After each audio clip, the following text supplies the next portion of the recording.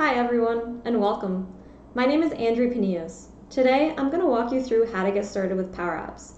Using the developer subscription, you can easily sign up with your personal email and have access to all Office 365 apps, including Power Apps. The first thing you want to do is navigate to developer.microsoft.com. This will give you access to the Microsoft 365 Developer Program subscription. This gives you access to 25 user licenses, Power Apps, Outlook, and it's renewable if you keep using it. You're going to want to select Join Now. This will prompt you to log in. Use your personal account or your organization's account to log in. Once you have logged in, fill out this information similar to this and hit Next. Then you'll need to fill out this information based on your personalized uh, wants. This is how I filled out mine, and I click Join. You'll get this Welcome to the Microsoft 365 Developer Program. You're going to click Close and set up E5 subscription. Then you're going to create a username, a domain, and a password.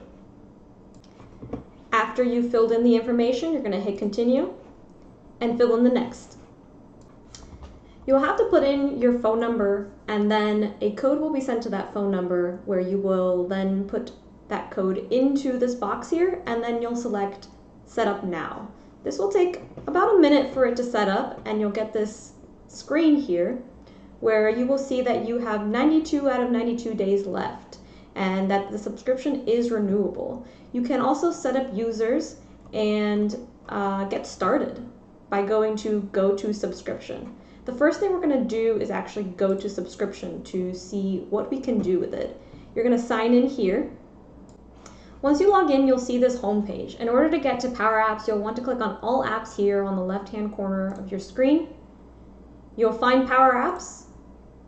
You'll click on it, and you will be taken to the Power Apps UI.